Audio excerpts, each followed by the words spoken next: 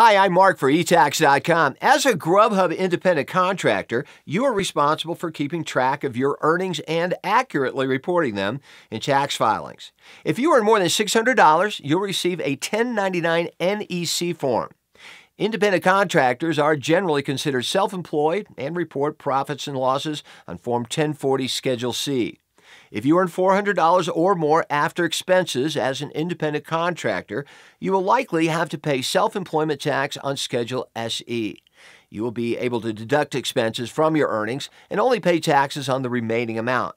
Vehicle costs, mileage, car insurance, tolls and parking, phone, gifts you buy for your customers like mints or thank you cards, or accounting and bank costs from running your business on the Grubhub platform. Refundable tax credits such as earned income tax and additional child tax credit can offset income tax and self employment tax, and in certain cases can produce a sizable tax refund. For more information, visit etax.com.